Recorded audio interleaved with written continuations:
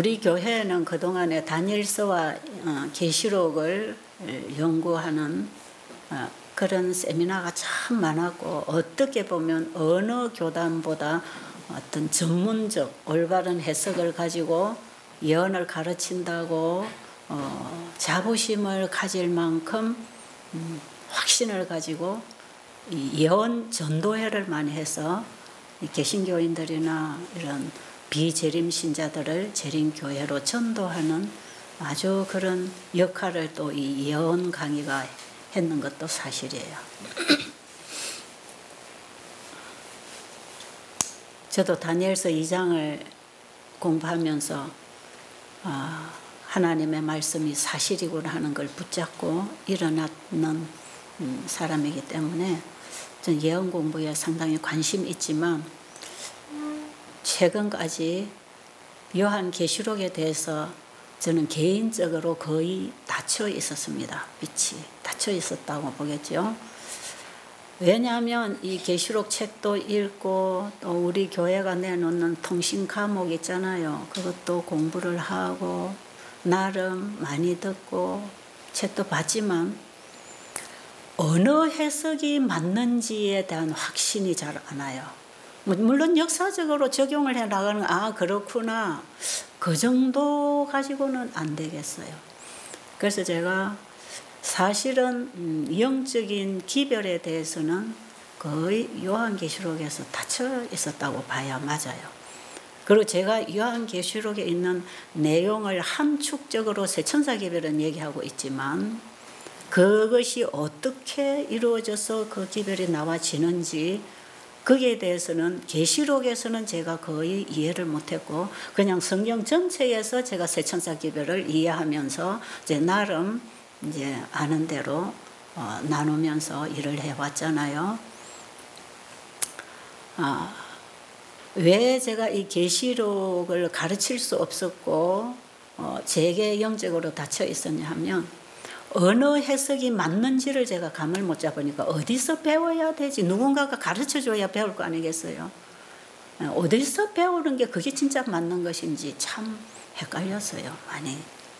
음, 그래서 그냥, 그냥 덮어두는 거죠. 요한계시록을 해석하고 이해하려고 하지 말고 그냥 성경 전체의 복음을 이해하면 안 되겠는가.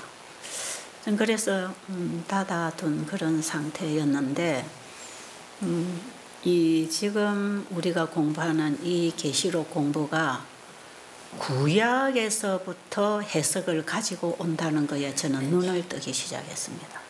음, 저는 거기서 바로 이거구나. 이러면 이게 맞는 거구나. 왜 제가 그렇게 생각을 했냐 하면 여러분이 가지신 교재, 제가 내드린 교재 있지요. 거기 제4부 6장에 보면 새 것과 옛 것을 전환하는 그 장에 실물 교환해 보면 새 것과 옛 것에 대해서 얘기합니다. 그 첫째 적용은 옛 것은 구약이고 새 것은 신약입니다. 그리고 두 번째 적용은 우리가 예수님을 만난 첫 경험이 옛 것이라면 날마다 빛을 따라 자라나는 경험이 새 것입니다. 자, 한번 읽어볼까요? 여러분 193페이지 음, 193페이지 그, 네. 밑에서 12번째 줄 읽겠습니다. 네, 네, 한번 구약은 신약의 빛을 비춰주고 신약은 구약의 빛을 비춰준다. 이 둘은 각각 그리스도 안에 있는 하나님의 영광에 계십니다. 예. 그 위로 읽으면 이제 이 설명이 잘 되어 있습니다. 그 위에 소제목이 뭐가 나오죠? 그리스도 안에 있는 옛 진리와 새 예, 진리. 그리스도 안에 있는 옛 진리와 새 진리 그 소제목 밑으로 지금 읽은 데까지 여러분이 꼭 좀 읽어보세요. 자, 지금 시간이 되면 읽으면 좋겠지만 제가 좀 단축하기 위해서 여러분이 그 책을 가졌으니까 읽어보세요. 어, 구약은 어, 신약의 빛을 비추고 신약은 구약의 빛을 서로 빛이 서로 비춰주는 거예요. 서로 비춰줘야 돼요. 그래서 신약을 가장 잘 이해하려면 구약을 가장 잘 이해해야 됩니다. 구약의 하나님의 율법의 그 선지자들과 모세를 통해 주신 이거를 우리가 가장 잘 이해하려면 신약의 예수님을 봐야 돼요. 구약의 선지자와 모세를 통해서 주신 그 기별을 주신 분이 예수님이기 때문에 예수님이 이 땅에 오셔서 자신이 하는 일을 구약을 통해서 다 입증했지 않습니까? 맞나요? 여러분 다 공부하셨죠? 예수님은 구약의 모세의 글에서부터 시작해서 선지자의 글에서부터 시작해서 자신에 관해서 계속 설명을 했지요. 그래서 우리가 신약을 똑바로 이해를 하고 믿으려면 확실하게 구약에서부터 빛이 와야 됩니다. 그래서 구약이 율법이라면 신약은 복음이고 율법과 복음은 서로 빛을 비추고 있거든요. 서로 조화가 돼 있지 이게 분리된 게 아니다 이 말이에요. 그래서 제가 믿음과 행함은 분리된 게 아니라 그랬죠. 자, 그래서 어, 구약이 만약에 씨앗이 들어가서 뿌리가 내려져서 뭔가 나무가 나오도록 했다면 신약은 나무에 달리는 꽃과 열매고 향이단 말이에요. 그러니까 이 신약은 전부 구약에서 왔고 신약을 보면서 구약을 믿게 되고 구약을 우리가 연구하면서 또 신약을 보면서 예수를 믿게 되는 서로가 이렇게 빛을 비추고 있습니다. 그 빛은 예수 그리스도 안에 있는 하나님의 영광의 빛, 바로 율법 회복입니다. 네. 그게 온 성경이 서로 보완하면서 빛을 비추게 돼 있어요. 그렇다고 하면 요한계시록은 신약입니까? 신약입니까? 신약 중에서도 신약이지요? 예. 예수님이 이 땅에 오셔서 증거하신 그 예수님, 그 예수님이 지금 또 요한을 통해서 계시를 통해서 증거되고 있는 것이지요. 자, 그렇다면 요한 계시록의 그 상징을 통해서 보여주는 그 계시를 우리는 어디서 이해를 가져와야 합니까? 구약에서 이해를 가져와야 그게 맞는 거야. 저는 제 나름 거기서 확신을 얻었습니다. 어, 계시록의 해석은 바로 구약을 풀어야 돼. 이 해석이 바로 되는 거다. 그런데 이 목사님 강의를 들어보니까 전부 구약에서 신약의 이 해석을 하고 있는. 왜냐하면 계시록은 다 상징을 통해서 보여주는 거기 때문에 정말 그 우리가 글자 그대로는 도무지 이해할 수 없는 책입니다. 그게. 그런데 거기에 있는 그 언어들, 단어들을 전부 구약에서 가지고 왔다. 그 상징되는 뭐 연기나 뭐 어? 불이나 뭐 어, 이런 것들 전부 구약에서부터 온 것이다. 모든 게. 지금 예수님이 성천하셔서 대관식에서 그 율법책을 받는 다시 왕위를 개성하는 이런 사건들이 구약의 왕위에 오를 때 했던 그 똑같은 똑같은 일을 지금 예수님이 어, 지금 그걸 받고 계신단 말이에요. 예. 구약의 율법이 백성을 다스렸다면 지금 예수님의 하늘에서 율법책을 받아서 결국은 성령을 통해서 우리의 마음을 다스려 주실 때 하나님의 율법의 다스림을 받는 자가 하나님의 백성 아닙니까? 그렇죠? 하나님의 다스림을 받을 때 하나님의 백성이고 사탄의 다스림을 받으면 사탄의 백성이에요. 그런데 예수님이 그 왕권을 가지고 우리 안에 오셔서 우리를 다스리고 우리는 그분의 백성이 되는 것이죠. 근데 그분이 통치하는 방법이 뭐라고요? 언약의 율법의 저주와 축복을 통해서 다스린다 그러죠. 결국 그분은 왕이 백성을 법으로 다스리듯이 하나님은 우리를 하나님 말씀으로 다스리시는 것이요. 맞지요? 근데 이게 전부 구약의 해석이 예, 신약의 계시록을 열어준다는 거예요. 여기서 저는 정말 번듯하고 빛이 왔어요. 이게 맞다. 근데 제가 계속 제가 외국을 다니고 집회를 하면서 이걸 제가 집중적으로 그 CD를 들으면서 연구를 하거나 이렇게 못했습니다. 그냥 지나다가 듣고 바쁘면서 또 못 듣고 어쩌다가 한 번씩 듣고 하다가 슬쩍슬쩍 들어 나갔는데도 제게는 상당한 빛이 왔기 때문에 제가 이번에 제대로 공부를 해야 되겠다는 생각을 했던 것이고 제가 그제 어제까지 지금 일곱 인과 일곱 나팔을 주시는데 저는 이제 예수님이 오셔서 이제 성천하신 이후부터 예수님의 재림 때까지의 이 그림이 쫙 그려지는 걸 제가 알았어요 어제 어제 제가 마무리를 해주시는 그 순간까지 이 세상에는 두 부류밖에 없습니다. 중간은 없어요. 그러니까 양다리 걸치면 안 됩니다. 네. 내가 어느 줄에 서 있느냐, 내가 세상에 속해 있느냐, 하늘에 속해 있느냐. 내 안에 예수님이 주인이 되셔서 나를 다스리면 내가 순종하느냐, 사단이 내 안에 주인이 되어서 나를 다스리는데 내가 순종하느냐.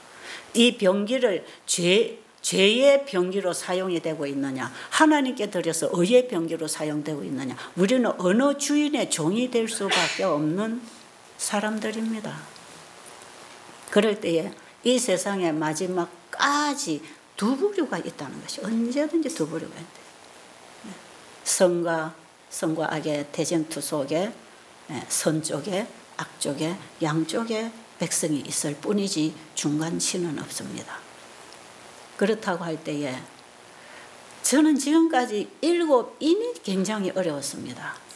일곱 나팔은 심판이라는 걸 알았어요. 빛을 거절하는 백성들에게 이 유대 교회로부터 로마로부터 이 개신교회가 개신교회가 1844년에 이 셋째 천사 기별 거절하면서 바벨론이 되었다 그랬잖아요.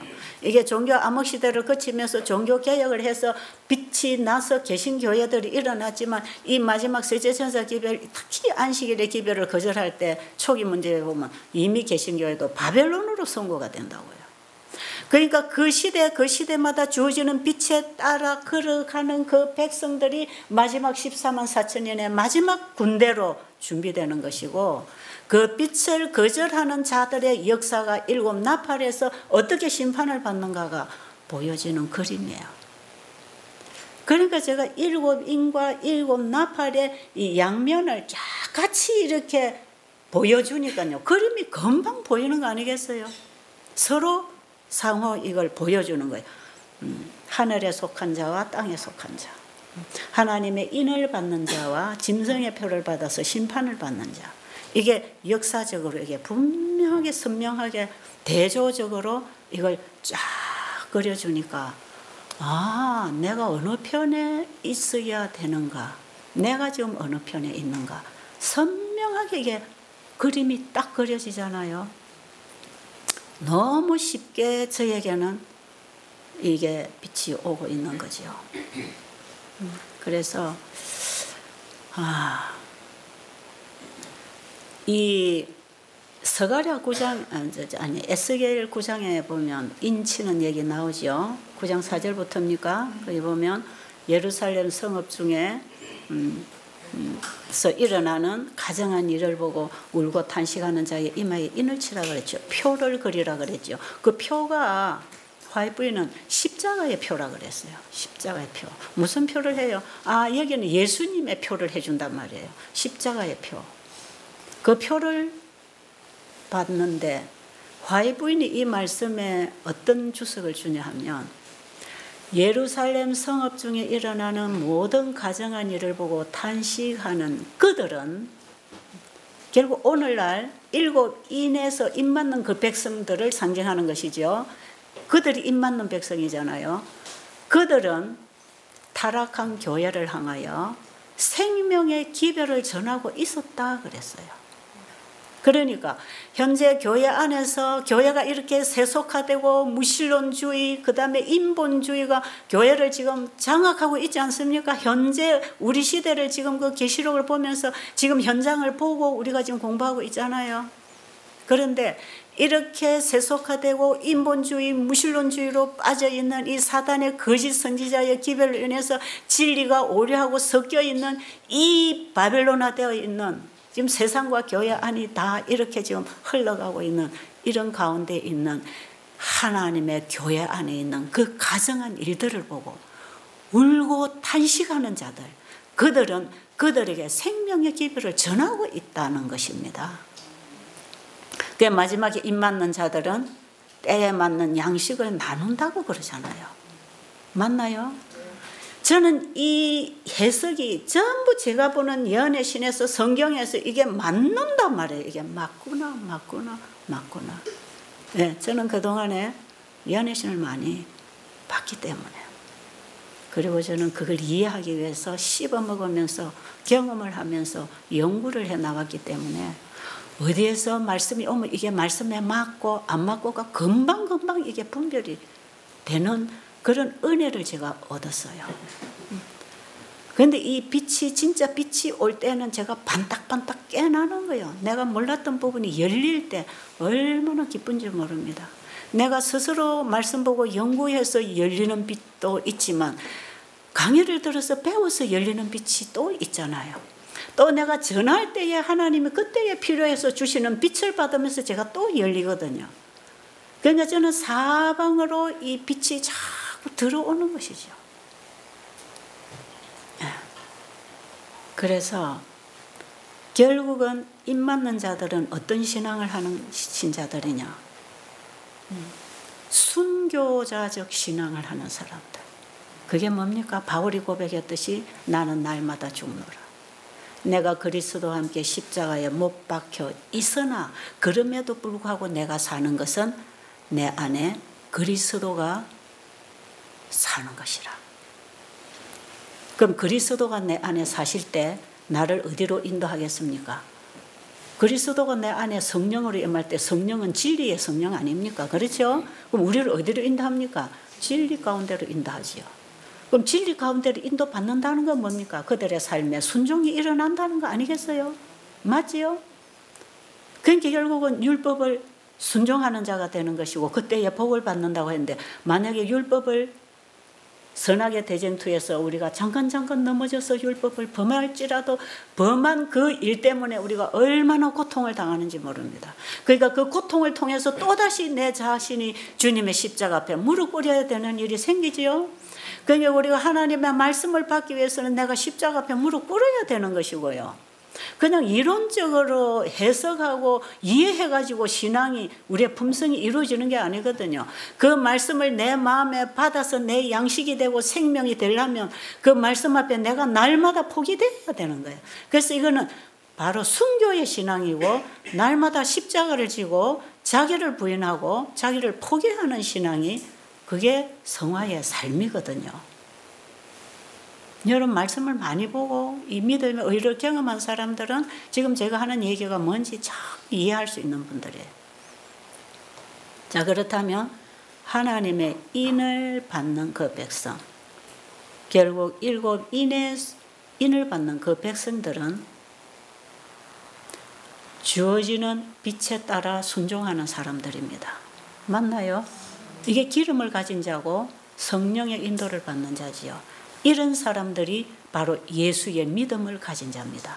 하나님의 계명과 예수 믿음을 가진 자들은 그들의 삶 속에서 하나님의 계명과 예수 믿음을 가진 자들이 어떻게 사는가를 보여준다 그랬어요. 이게 정인입니다.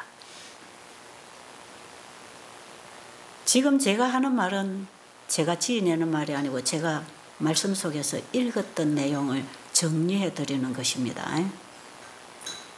자, 그러면 이 우리는 지금 어느 쪽에 서야 됩니까? 어느 쪽에 서야 되지요? 입 맞는 일곱 인에 입 맞는 백성이 돼야 되지 않습니까? 이것이 나중에 영원한 나의 운명을 결정할 텐데 말이에요. 내가 예루살렘 성 안에 있을 것인가, 성 바깥에 있을 것인가가 지금 결정이 되는 거다 이 말이에요. 많은 믿음의 노독들이 그 시대에 결정되고 잠들었단 말이에요. 그리고 그들의 죄를 도말해서 예수님이 완전한 의인으로 부활시켜 주실 때는 예수님 재림 때입니다. 그런데 우리의 믿음의 노독들이 걸어간 그 신앙의 간정들을 말씀에서 보면 그들의 회개와 믿음이 바로 지성소에서 죄를 도말하는 그 시대의 백성들이 가져야 할 회개와 헌신과 믿음을 갖고 있었더라고요. 그리고 그들이 그 신앙 가운데서 잠들었을 때 예수님은 그들의 죄를 죽은 의인들을 심판한다 그랬잖아요. 그들의 죄를 다 도말하시고 지금 마지막 시대에 살아있는 우리가 그 신앙에 들어갔을 때 그 신앙이 받아진 바 되어서 우리의 죄가 도말되는 것이거든요. 그 죄가 도말되고 늦은 비의 권능을 받고 마지막 최후의 전쟁 마당에 하나님의 영광의 빛을 가지고 일어날 그 백성들이 어떤 신앙을 하는가가 일곱 인에 다 그려져 있네요 보니까. 예? 그러니까 얼마나 이 기별이 확실합니까? 그들은 하나님의 말씀에 철저하게 주어지는 빛에 순종하기 위해서 날마다 자기가 포기되고 십자가 밑으로 내려가는 순교의 신앙을 했다라는 거죠. 그런데 이 사람들은 자기들만 그렇게 신앙을 하는 게 아니고 이 빛을 받지 않고 거절하고 있는 세상을 향하여 교회 안에서 일어나는 가정한 일들을 향하여 울고 탄식하고 기도하면서 자기가 받은 빛을 거기다 비추는 사람들입니다. 그렇습니까? 그래서 세상이 구원을 얻도록 그 기도를 하는 사람, 그 기도를 재단 앞에서 날마다 자 희생적 십자가를 지는, 신앙을 하는 사람들이 자기들이 받은 빛을 세상에 비추고 받은 빛을 세상에 비추면서 세상을 경고하는 거지요. 그리고 하나님께 그 기도가 응답되기를 기도하면서 빛을 비추는 그 사람들. 그러나 이방인 가운데 그 빛을 받고 일어나는 사람들이 구원의 대열에 참여하겠지만 빛을 받지 않는 자들은 빛을 거절함으로 심판이 계속 임하고 있다는 것을 우리가 일곱 나팔에서 지금 보는 거 아니겠어요? 보세요. 유대교회가 예수님 거절했잖아요. 신약 시대의 빛은 예수님입니다. 예수님 그분이 빛이에요. 음. 빛이 자기 땅에 오매 자기 백성이 영접지 아니했다 그랬죠. 그러나 영접하는 자에게는 하나님의 자녀가 되는 권세를 주셨다 그랬죠. 그 빛이 태초의 말씀 속에 있었던 그 빛이 자기 땅에 왔지만 거절을 당했다는 것이에요. 자, 그런데 이 빛을 받은 자는 그 유대교를 향해서 빛을 전했습니다. 그런가요? 이런 빛 성령이 임했을 때 그들의 가슴 속에 진리의 빛이 환하게 예수 그리스도가 어떤 분인지를 알게 되고 예수님이 가르쳐 주신 그 가르침이 깨달아지고 확실할 때에 바로 구약의 선지자들과 모세를 통해서 주신 그 메시아가 바로 십자가에 못 박아 돌아가신 그분이라는 사실을 깨달은 이후에 그들은 어디다가 그 빛을 전했습니까? 자기들이 또 유대교에 전했잖아요. 먼저 유대교에 전했습니다. 나중에 이방에도 전했지만 자 그들이 유대교에 이 빛을 전할 때 그들은 정말 울고 탄식하는 심령으로 전했겠지요. 그들을 향해서 기도하면서 그 빛을 전했겠지요. 그들이 자기를 죽이려고 그들을 핍박하고 반대하고 죽이려고 했지만 순교하는 정신으로 기도하고 그 기도를 전했지 않습니까? 그래서 많은 순교자들이 나오기도 했고요. 그러나 그 빛을 전달하고 전하는 그 복음 때문에 많은 유대교인들이 기독교로 그리스도교로 옮겨졌습니다. 하루에 수천 명이 회개하고 돌아왔다는 그 역사는요. 그 중에 예수님의 가르침을 들은 사람들, 음, 주로 유대인들 가운데 많은 사람들이 제자들이 성령을 받고 그 빛을 비출 때 많이 많이 돌아왔습니다. 예수님이 뿌려놓은 씨를 그때 막 거둔 것입니다. 그러나 그 빛을 받지 않은 유대교가 먼저 심판을 받았어요. 언제 결정적인 은혜가 끝나버렸느냐? 복음을 전하는 사람을 순교하도록. 누굽니까? 네, 스데반의 순교. 스데반의 순교는 사도 바울과 같은 사람을 감동시키고 회개할 수 있는 어떤 빛이 들어가기도 했지만요. 많은 유대교의 순교를 통해서 빛이 들어갔고요.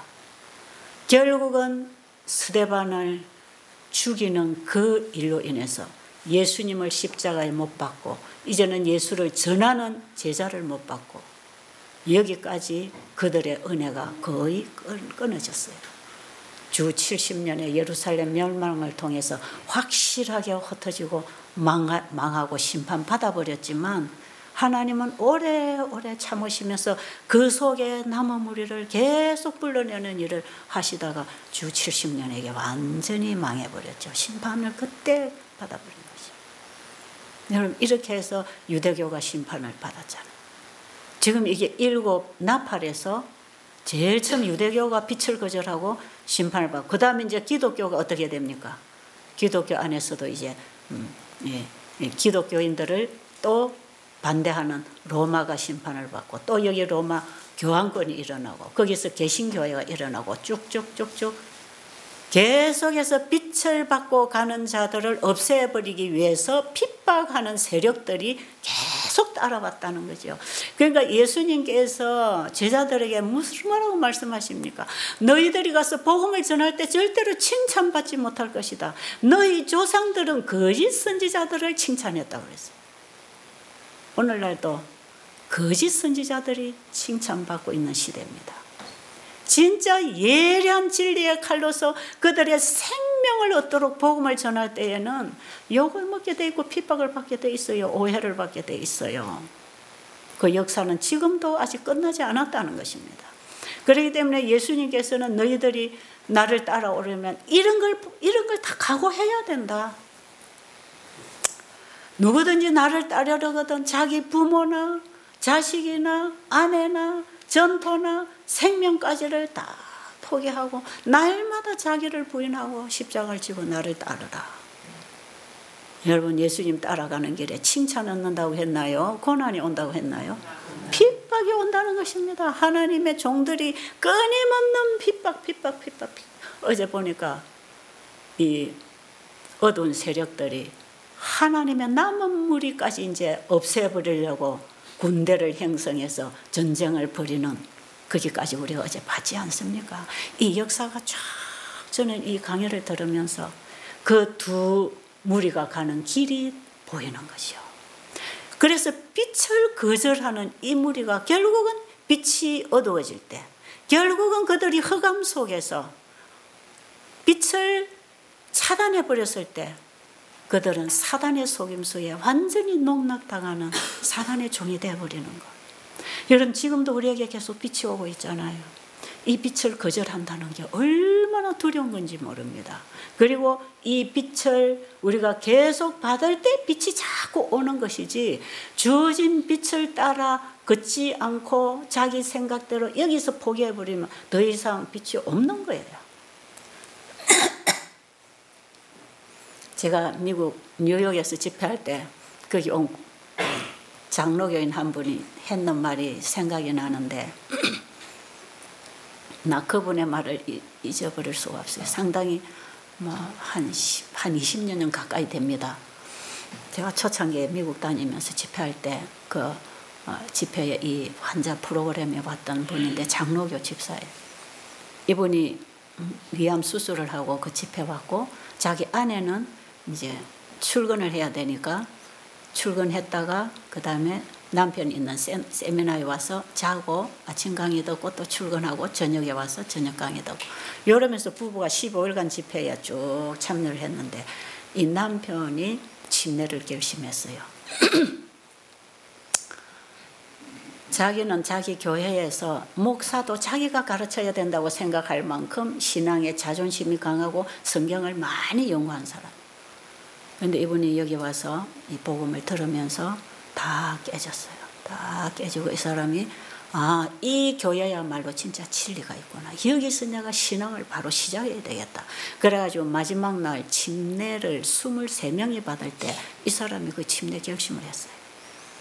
그 브롱스 교회가 주최했던 집회입니다. 뉴욕에서. 그런데 이분이 침례 결심을 딱 할 때 자기 아내가 막 바지가랭이 자꾸 늘어졌죠. 여보 안 돼. 안 돼. 더 연구해봐. 여기는 이단이야. 이단이야. 뭘 안다고 짧은 기간에 당신 이런 중요한 결정을 하느냐. 절대로 안 돼. 안 돼. 여자가 이제 바지가랭이 잡고 남편은 이 빛이 너무 확실하니까 진짜 건강이 거의 회복. 지금 완전히 나아가 살고 있는데요.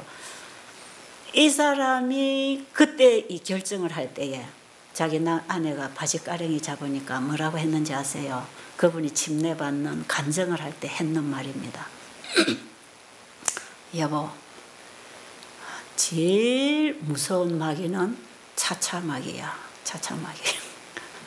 여러분, 차차마귀가 뭔지 아세요? 지금 안 해도 되잖아. 빛이 올 때 지금 안 해도 되잖아. 차차 하면 되지. 차차. 차차 더 공부하고 더 두드려보고 차차. 그런데 이 남편은 지금 빛이 왔어요, 안 왔어요? 그런데 아내는 빛이 왔어요, 안 왔어요? 안 왔어요.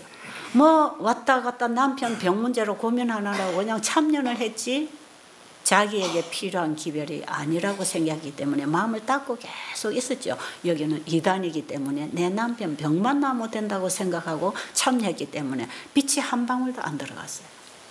그런데 이 남편은 자기가 살기 위해서는 이걸 받아 먹어야 된다고 생각했기 때문에 알려고 했고 먹으려고 했고 열려 있었단 말이에요. 그러니까 이 남편은 15일간 집회하는 동안에 이게 다 빛이 들어와서 자기는 딱 결정을 하는데 아내가 결정을 못하고 여러 우리가 가는 길에 이런 일은 얼마든지 있을 수 있습니다. 한쪽에 빛을 받았을 때 하나님의 분명한 메시지를 받고 반응을 하려고 할 때 그 메시지를 아직 듣지도 받지도 않은 자들은 바지가랭이 치맛자락 끄집어 당기는 거죠. 안 돼, 안 돼, 안 돼. 여러분 그때에 물리치는 방법이 있어요. 차차마귀가 제일 무섭다는 거. 이거 우리에게 지금 있는 일이라니까요. 글쎄 여보 제일 무슨 마귀가 뭔지 알아? 빛이 올 때 바로 받지 않도록 나중에 해, 나중에, 나중에, 차차, 차차. 마귀는 하지 마, 이렇게 안 해. 나중에 해, 나중에, 나중에. 이렇게 우리를 허감으로 끌고 간다는 거예요. 저는 그분에게서 그때 참 놀라운 진짜 진리를 하나 깨달았습니다. 아하, 그거 참 중요하구나. 그리고 이 하나님께로부터 빛을 받은 자는 빛 받지 못한 자하고 의논하면 안 됩니다. 그러니까 이게 좁은 길이고 외로운 길이고 홀로 서는 길입니다. 그게요.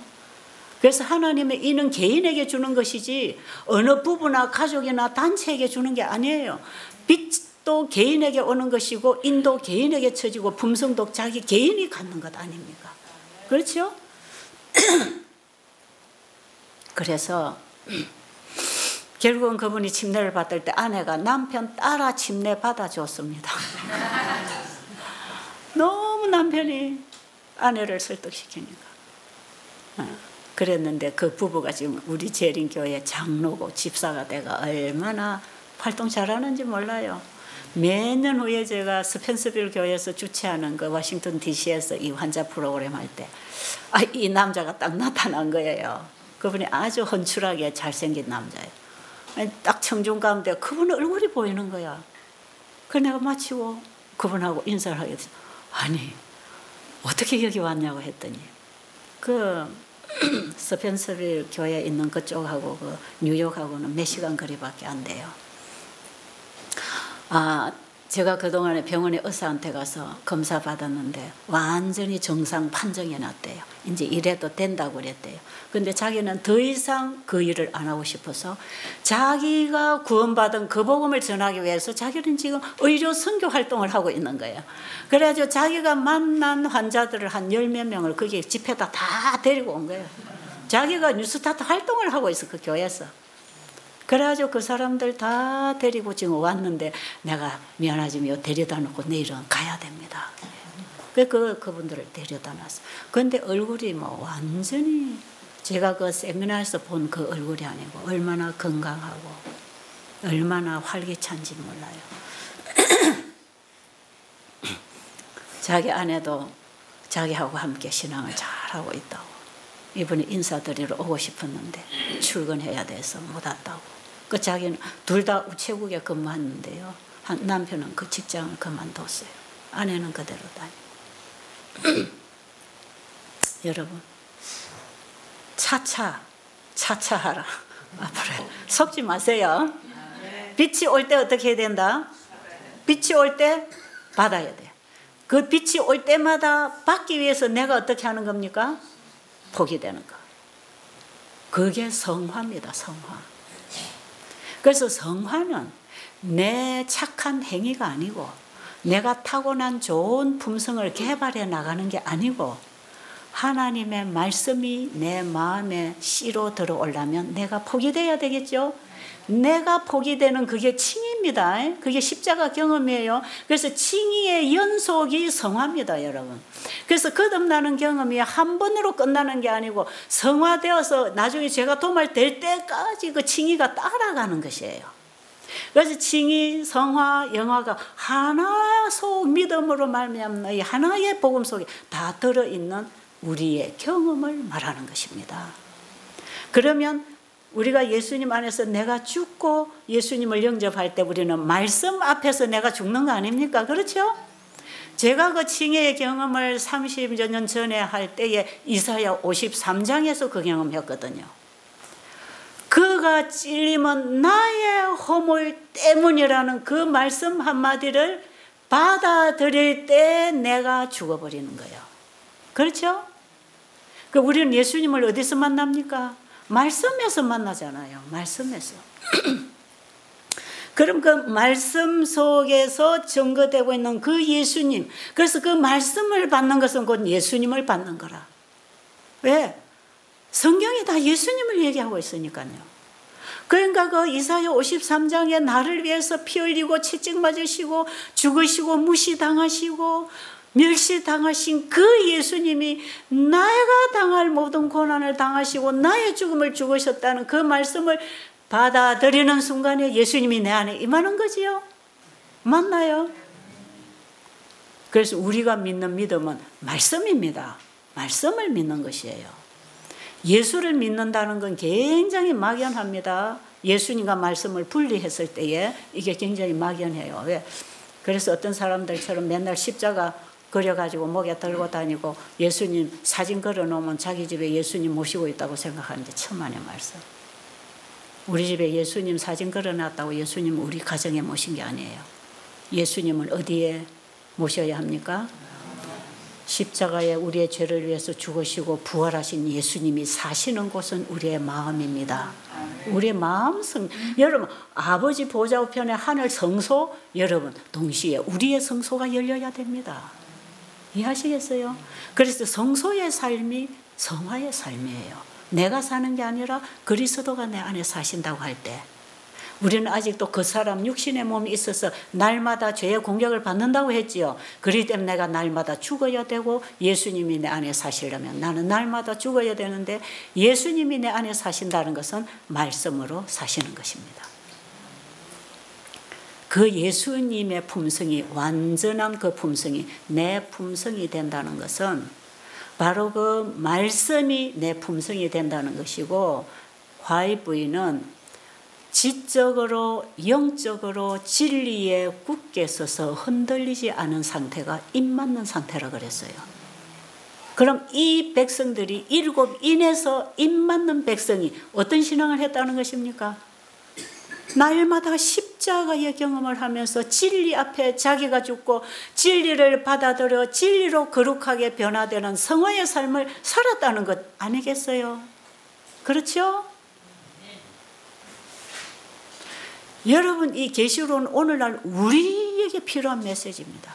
구약의 모든 성경도 말세를 만난 우리를 위하여 기록했다 그랬고 구약의 그 진리를 신약의 계시록에서 우리에게 풀어주는 것은 오늘날 우리의 구원을 위해서 필요한 기별을 주시는 거다 이 말이에요. 그러니까 이 계시록을 여러분이 공부하고 끝나면 안 되고 이 여기에서 보여주는 그 기별이 바로 내 속으로 들어와서 내 신앙 경험하고 딱 만나져야 됩니다. 그래 그분이 주신 것이 내 안에서 이루어질 때 그건 내 거네 내 거네 이게 성령의 열매가 맺는 것이고 거기에 인이 치지는 거죠. 내가 준 거니까 내가 인을 쳐주는 거 아닙니까? 그러니까 인은 어디에 치지느냐? 그분의 말씀이 인입니다. 그렇죠?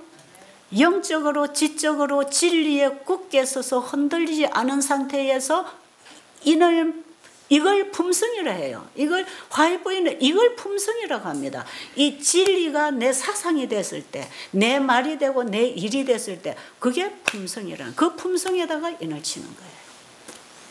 그런데 입 맞는 백성들은 그들 속에 완전한 하나님의 율법이 회복되어서 하나님의 품성의 인을 받는 것입니다. 그 백성들은 어떤 신앙을 했나요? 날마다 내가 주님 앞에서 죽고 주님이 주시는 빛을 따라서 순종하고 살아간 사람. 이게 믿음과 순종을 통해서 이루어지는 구원의 길입니다. 하늘에서 우리가 그걸 잃어버렸다 그랬죠. 하나님에 대한 믿음이 믿음을 잃어버렸기 때문에 순종을 잃은 것이지요. 그래서 불신과 불순종, 예, 이거는 같은 것입니다. 내가 당신 말은 천지가 없어져도 그대로 되는 거 믿습니다 해놓고 내가 당신을 믿습니다. 그래서 당신 말 믿습니다 해놓고 그 말에 반대되는 행동을 한다면 그는 믿는 게 아니죠. 믿으면 그게 행동이 따라가는 거다 이 말. 여러분 우리는 일곱 인, 인에 속한 신앙을 해야 되겠습니다. 저는 여기서 내 신앙을 다시 한 번 더 점검하는 것입니다. 아, 내가 그동안에 살아올 때 하나님의 말씀의 빛에 따라 살아온 것은 끊임없이 이렇게 나무가 나와서 자라고 있지만 그 속에 내가 하나님 말씀에 순종하지 아니하고 내 감정대로 내 이기적으로 행동하고 결정했던 일들이 지금 저에게 얼마나 썬 잔을 갖다 주는지 모릅니다. 네. 써디 쓴 잔을 제가 마시면서 공부를 하고 있는 게 철저하게 우리는 하나님의 말씀에 따라가야 하나님의 보호와 그 속에 축복이 있다는 것을 저는 공부하고 나오는 사람이에요. 제가 거의 70년을 살았으니까요. 하나님의 말씀에 순종할 때 어떻게 되고 불순종했을 때 그 열매를 어떻게 거두어야 되는지 너무나 저는 쓴 공부를 많이 했어요. 그래서 제가 최근에 와서는 이런 기도를 하죠. 하나님, 이제는 저 죄 공부하기 싫어요. 죄 공부는 너무너무 많이 해서 이제는 죄가 진지하게 이제 싫습니다. 이 저를 언제나 이 죄로부터 저를 자유롭게 해주실 것입니까? 제가 그 기도를 하고 매달리고 사는 거예요, 지금. 예, 죄의 쓴맛을 저는 너무나 많이 겪었기 때문에. 정말 저는 몸서리치게 죄가 싫습니다. 그래서 죄로부터 벗어나고 싶어서 발악을 하는 거죠. 예수님, 저를 죄로부터 자유롭게 해주세요. 이 자유가 아니면 차라리 나는 죽음이 낫습니다. 저 죄로부터 자유하고 싶습니다. 주님의 사랑으로 진리로 제 영혼을 가득 채워주세요. 저는 진리로 바로 서고 싶습니다. 지금 제 기도가 그런 기도예요. 정말 저는 죄가 싫어요.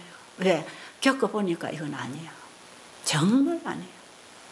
여러분, 우리는 지금 야곱의 길을 똑 따라가는지 모릅니다. 야곱이 어떻게 했어요?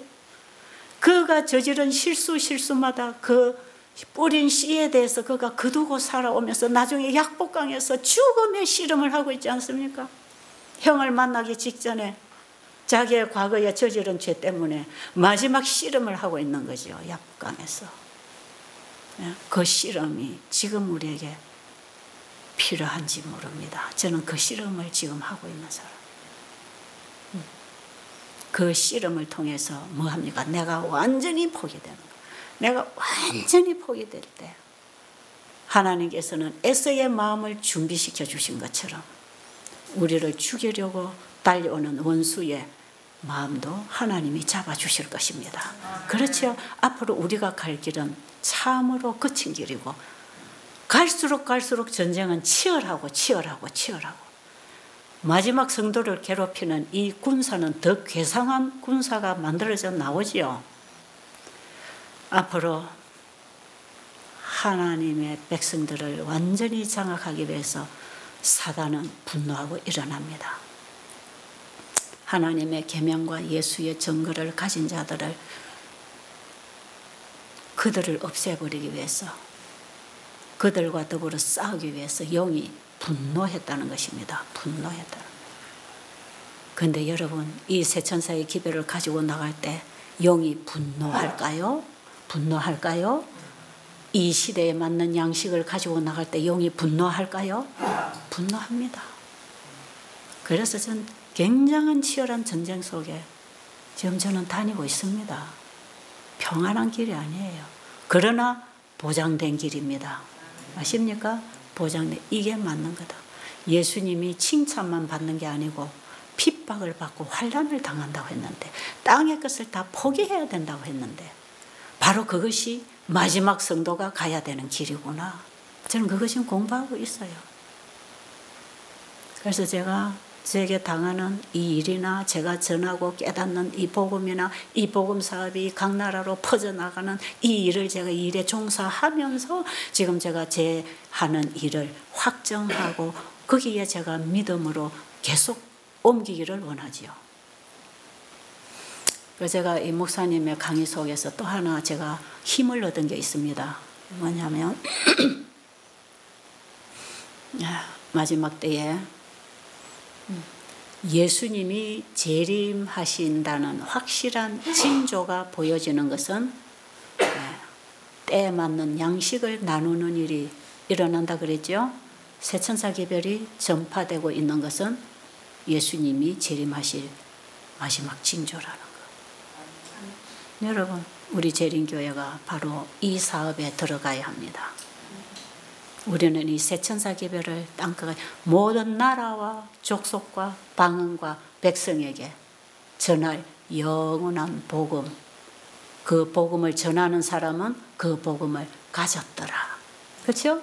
아십니까? 계시록 14장 6절에 세 천사가 어떤 사람이에요? 세 천사는 어떤 사람입니까? 모든 나라와 족속과 방언에게 전할 영원한 복음을 어떻게 했다고요? 가졌더라. 가졌더라. 그러니까 여러분은 세 천사 의료 선교를 누구에게 먼저 하라? 나에게 먼저 하라 그랬죠. 나에게. 이 복음을 내가 받고 가진 것으로 나누는 겁니다. 그게 자기가 받은 씨를 뿌리는 거예요. 그래서 세천사의 기별이 활발하게 전파되어 나가는 것이 예수님의 재림의 징조라. 제가 외국을 다니면서 이걸 보고 다니는 거예요. 제가 한 번은 방콕의 그 에까마이 국제학교에서 교직원을 위한 세미나를 열흘 동안 하고 있을 때, 아, 그게 어디지, 우리? 그 조이가 어디 갔어? 네. 그 젊은 목사 어디서 왔지? 그 어디라 했지 그 남아공화국 남아공화국에서 예, 젊은 목회자예요. 남아공화국에서 이 사람은 남아공화국 사람이고 자기 아내가 태국 여자예요. 그 여자는 간호사고 이 사람이 자기 아내 나라에 이 세천사 계비를 전하려고 왔대요. 예, 와서 일단 그 야카마이 국제학교의 성경 교사로 지금 일단 들어갔어요. 근데 그 학교에서 세미나를 하니까 이분이 참여하게 됐죠. 믿음으로 말미암는 의를 강의한다고 해서 자기가 관심을 가지고 와서 들었다는 거죠. 그런데 이 믿음으로 말미암는 의가 세천사 기별이고 세천사 기별 속에 건강개혁 기별이 나오고 건강개혁을 하는 동안에 환자들이 낫고 있고 그 현장을 거기서 그분은 다 듣고 보는 것이죠. 나중에 마칠 무렵에 우리 그때 참여한 사람이 여기 우리 최시온이도 그 집회 참석했네요. 이분이 집회 마지막 무렵에 저희 숙소에 와서 이런 얘기를 했습니다. 지금 내가 살던 남아공화국이나 저 아프리카 쪽에 지금 여기서 전하는 이 세천사계별이 다 전파되고 있다는 거예요. 말씀이 치료하는 이 건강기별이 거기도 전파되고 있고 일을 하고 있다네요. 그러면서 세천사 기별의 믿음으로 말미암 내가 거기도 다 전파가 되고 있는데 이제 자기 아내가 사는 이 나라에 이 기별을 전하려고 왔다는 것입니다. 와서 일단 자리를 잡기 위해서 저 치앙마이다 땅을 하나 사놨대요. 그리고 현재 지금 준비하는 과정에서 학교에 지금 들어와서 성경교사로 일을 하고 있는 거예요. 최근에 왔대요. 그런데 이분이 한 시간 이상이나 앉아서 저하고 이제 옆에 통역을 통해서 계속 저는 듣고 있겠지만 한 시간 이상 얘기를 계속 하는데 들을 때 제가 뭘 느꼈는지 아세요? 이 사람이 내 설교를 다 듣고 외워갖고 그대로 말하네. 이렇게 제가 느낄 만큼 놀랬단 말이에요. 똑같은 기별이라. 똑같은 일을 하고 있어. 그래서 제가 아, 내가 보는 성경 이 사람이 읽고 내가 보는 연애 신을 이 사람이 읽고 내가 만난 예수님을 이 사람이 만나고 예수님이 보낸 성령의 가르침을 받았으면 똑같은 말을 하는 거구나. 동지를 만난 거죠. 동지를. 그 제가 그래서 뭘 본지 아세요? 세천사 기별이 지금 방방곡곡에서 외쳐지고 있다는 걸 보게 됐지요. 그리고 지금 제가 나가서 일하는 이, 이 나라, 나라들의 이 세천사 기별에 관심을 가지고 모여드는 사람들이 거의 다 우리 교인들이에요. 저는 아직 이방인들의 집회를 아직 안 해요. 외국에 서 안 해봤어요. 왜? 교회가 불러서 가는 거니까 전부 우리 교인들이고 지도자들이에요. 거의 대부분이 거의, 거의 평신도가 아니에요. 그런데 이 지도자들이 이 세천사 기별을 이들은 지금까지 세천사 기별 공부를 하고 전하고 했는데 사실 그게 뭔지 잘 정리가 안 됐다. 근데 이걸 들어보니까 이게 이제 뭔가 자기들도 빛이 온다는 거죠. 그래서 이 기별전 때 그게 다 바로 그거다. 이래가지고 자기 학교 와서 해라, 뭐 우리 교회 어디에 와서 해라 이런 식으로 해가지고 좀 집회가 열려 나오고 있었거든요. 그런데 제가 뭘 지금 얘기하려고 이 얘기를 하느냐. 세천사 기별이 나가고 있다는 걸 알아야 된단 말이에요. 자, 어제까지 우리는 일곱 인과 일곱 나파를 서로 조화를 시키면서 우리가 이제 공부를 했기 때문에 다시 양식이 온다는 것, 다시 예언해야 되는 그 양식을 우리가 받아. 그게 이제 이 시대의 현대 기별이거든요. 아직 그 부분을 안 했어요. 근데 저는 미리 그걸 아는 거죠. 왜?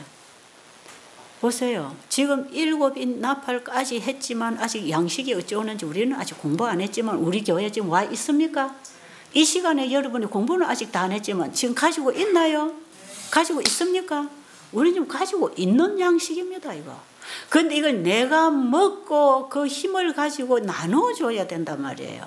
근데 이 양식을 나눠주지 않은 악한 친구들은 뭐 하고 있다는 겁니까? 친구들을 때리고 해치고 있다는 거예요. 이게 지금 거짓 선지자 역할을 하는 거 아니겠어요? 인본주의 사상과 무신론 사상과 거짓 선지자 역할을 하면서 많은 백성들을 지금 때리고 속이고 해치고 있단 말이에요. 그런데 지금 우리가 뭐 좋은 집회가 있다고 반딱반딱 할 거는 아니다 이 말이에요. 이게 정말 진리인지 거짓 진리인지 거짓인지를 우리는 분명히 분별할 수 있는 진리에 대한 영적 이해가 있어야 합니다. 그게 필요합니다, 우리에게. 왜? 거짓 선지자가 올 것이기 때문에. 거짓 가르침들이 지금 교회를 장악하고 나가기 때문에 우리는 지금 올바른 현대 기별을 깨달아야 된단 말이에요. 이 현대 기별이 세제 천사 기별이고 이게 이 때에 맞는 양식이 지금 온 게 현대 기별이란 말이에요. 그래서 저는 지금 앞으로 남아 있는 계시록을 대충이라도 한번 짚어 주시면 좋겠습니다. 왜? 지금 제가 보고 가는 그, 그 길하고 지금 계시록에서 짚어주는 길이 뭔지 제가, 제가 자꾸 확인을 하고 싶은 거죠. 어쨌든 여러분들에게 이번에 오전 7시 55분입니다. 오전 전이네. 찌리 시간 잘 맞춰가 끝내네. 그렇죠. 딱 5분 전이잖아. 이제 더 하면 안 돼. 중요한 것은요. 여러분은 그 책을 읽어가면서 공부하니까 저보다 훨씬 잘 배웠습니다. 저는 지금 듣기만 하고 있어서 다 들은 거 놓쳐버린단 말이에요. 그런데 전체적인 그림이 들어오기 때문에 제가 이 얘기를 하는 것이고 여러분은 저보다 훨씬 더 잘 깨달았을 것입니다. 그러니까 여러분이 깨달은 그 받은 빛을 이제 여러분의 것으로 만들어 나가는 게 중요하지요. 그렇죠? 주어진 빛에 순종하기 위하여 나는 날마다 죽어야 되는 십자가의 경험. 그리고 구원의 빛이 이르지 못한 저 이방 세계를 통하여 빛을 거절하는 백성을 통하여 우리는 울고 탄식하는 자의 심령이 되고 그들에게 이 기별을 비춰줘야 되는 거 아니겠어요? 그렇죠? 음, 아멘 또 많이 안 하는 거 보니까 이상. 정말 여기 우리는 아멘으로 화답을 하고 우리가 같이 일어나자 이 말이에요. 공부만 하고 맨날 끝나갖고 머리만 커가지고 올리 그러니 하지 말고 이것이 내 영혼의 양식이 되어서 힘을 얻고 이제 움직여야 된다 이 말이에요. 그래야 세천사 기별 사업이 빨리 맞춰질 거 아니겠어요? 네, 기도드리고 마치겠습니다. 살아계신 우리 아버지. 감사합니다. 너무 늦기 전에 우리에게 깨우침을 주시고 우리가 가야 할 길을 비춰주셔서 감사합니다. 이 기별을 가지고 온 종에게 힘을 주시고 지치지 않게 하시고 성령의 감동을 주셔서 우리가 잘 알아듣도록 우리 안에도 성령께서 역사하시기를 원합니다. 아버지 이 모임에 축복하시되 우리 각자에게 축복하셔서 이 빛을 붙잡고 돌아갈 수 있도록 도와주시옵소서. 예수님 이름으로 간절히 기도드렸습니다. 아멘.